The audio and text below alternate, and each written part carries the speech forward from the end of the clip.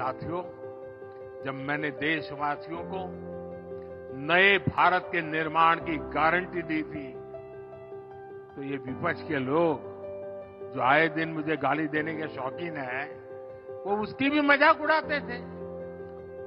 कांग्रेस की पूरी ताकत एक परिवार को ही आगे बढ़ाने में लगती रही।